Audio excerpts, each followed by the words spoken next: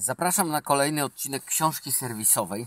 W tej chwili mamy 324, prawie 5 tysięcy kilometrów. Olej był wymieniony 6 tysięcy kilometrów temu, wtedy co była robiona uszczeleczka pod głowicą.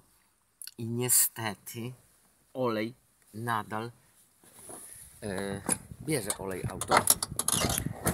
Wydawało mi się, że w momencie, kiedy zrobimy uszczelkę, yy, zrobimy pierścienie, olej nie będzie brany. Tymczasem autko trochę bierze olej. Musiałem już niestety trochę dolać. I ten olej jest taki dla mnie zadziwiająco czarny. Jest bardzo ciemny, nie wiem czemu. Muszę się dowiedzieć, ale w każdym razie musiałem trochę dolać. I wydaje mi się, że to jest bardzo podobny poziom tego poboru jak wtedy, co było przed pierścieniowaniem. Jeżeli chodzi o uszczeleczkę pod głowicą, to Wam od razu powiem, że pomogło. Pomogło, mimo że tam jest troszkę syfku, jeszcze on się zbiera, ale generalnie płyn jest czysty. Generalnie płyn jest czysty, ale syfku się trochę jeszcze zbiera, ale to jest syfek wypłukiwany z układu chłodzenia, który no wiadomo, jak był zawalony cały olejem, to teraz się tam trochę przeczyszcza. E, więc mm, no zobaczymy jak to będzie. Na razie póki co wygląda, że jest ok. Nie wiem, y, to, że pierścieniowanie nie pomogło, to może być efekt tego, że mm, że po prostu mechanik nie, nie schonował e, cylindrów. To jest taka procedura, którą należałoby wykonać, a polega to na ponacinaniu. Możecie sobie to u profesora Chrisa pooglądać, bo on ostatnio o tym mówił i wydaje mi się, że to może być ta przyczyna. E, dlaczego o oponki teraz oglądam? Dlatego, że e, to są opony wielosezonowe, na których teraz jeżdżę i one w takich warunkach zimowych trochę nie dają rady.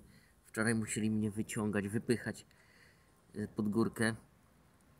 E, jest zużycie jeszcze, znaczy zużycie jest, jest duże, ale jeszcze opona się mieści w przepisach. Że co z tego, jak, jak e, ja nie mogę pod górkę podjechać na lodzie, nie? Myślę, że to okno pracy tej opony byłoby inne. No i tu mamy jeszcze jedną taką przykrą historię. Mianowicie e, wjechałem na pineskę, na jakiegoś gwózdka i teraz muszę zmienić sobie oponkę. Nawet mi się nie opłaca naprawiać, bo bo po prostu jest to opona za 30 zł i tyle samo będzie kosztowało mnie załatanie tej opony, więc nie wiem, czy ją w ogóle łatać, czy nie. Tym bardziej, że pewnie została uszkodzona. Właśnie jadę ją zmienić. I zastanawiam się, co zrobić z tymi przednimi oponami, bo nie wiem, czy, czy jeździć, dojechać jeszcze te, które mam, wielosezonówki, czy sobie zmienić na Michelina. Ostatnio Hołowczyc bardzo pochlebnie się o Michelinkach wyrażał. No, tych wielosezonowych. No tu jest jednak ten bieżnik już mocno, mocno zużyty. Już nie, nie ma tego, tej przyczepności. Ona bardzo ładnie trzymała wtedy, kiedy była świeża. Zwłaszcza na mokrym. Mi się bardzo podobało w tej oponie. Na mokrym tak ładnie trzymała, natomiast tutaj nie trzyma w ogóle. Eee, czyli dobra, to jest tak. Eee, teraz jeszcze jedna rzecz. Nie otwiera mi się klapa. Zamek się nie przekręca. Muszę niestety zrobić wejście od strony bagażnika. Już jest oponka, kolejna oponka właśnie ta e, na wymianę, ta zimówka. E, musimy się tu włamać. Czyli gdzie to było? Kurde. A, tu. E, jakby was zamknęli, jakby was porwali, e, porwała mafia jeżdżąca dacią i by was wrzucili do bagażnika, to tu jest taki dzyndzelek, który trzeba popchnąć i otworzyć klapę od środka.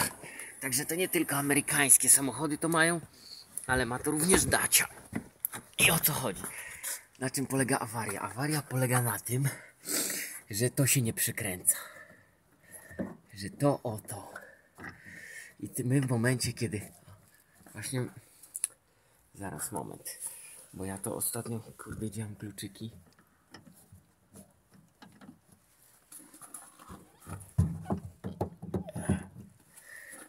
Czekaj, ja to robiłem wczoraj, ale dzisiaj już zapomniałem. Aha. Kurde. Nie mam jak tego dwoma rękami. Aha, dobra, już wiem. O, tak trzeba przekręcić. Czyli tak, o, przekręcamy. I tu się coś dzieje, że on nie wraca w momencie otwarcia samochodu. I teraz, o, jak mamy coś takiego, to możemy to nacisnąć. Miałem tą awarię, tylko in, na czym innym polegała wcześniej. Polegała to na tym, że przy otwartym bagażniku e, wciskanie, wciskanie tego e, grzybka nie pomogło i sam auto nie otwierało bagażnika. Natomiast w tej chwili polega na czym innym. Polega na tym, że się nie otwiera zamek i trzeba go ręcznie przesunąć w tą stronę, żeby się otworzył. Eee, zobaczę, spróbuję to popsiukać w WD-40, chociaż wczoraj był taki moment, że mi się otwierał. Czyli mo może tam być nie awaria jakaś mechaniczna, tylko po prostu siła tarcia jakaś niewracająca, no nie wiem co. Spróbuję to psiuknąć w WD-40 i zobaczyć, czy zadziała. Na czym to, na czym tutaj ten problem polega. Muszę go zdef z tego, no. E, także to są te problemy, które w tej chwili dacie trapią. E, chyba tyle, co chciałem powiedzieć. O oponach nakręcę, nakręcę ten odcinek o tych oponach w końcu, bo mam wiele przemyśleń związanych z, y, właśnie z użytkowaniem tej opony wielosezonowej. Kurczę, nie, nie jest wybulona ta zimówka. Kurde. Chociaż może nie, ale... No nic, y, zawiozę do wulkanizacji, on mi to założy. Założy mi tego, tą jedną oponkę i będziemy latać.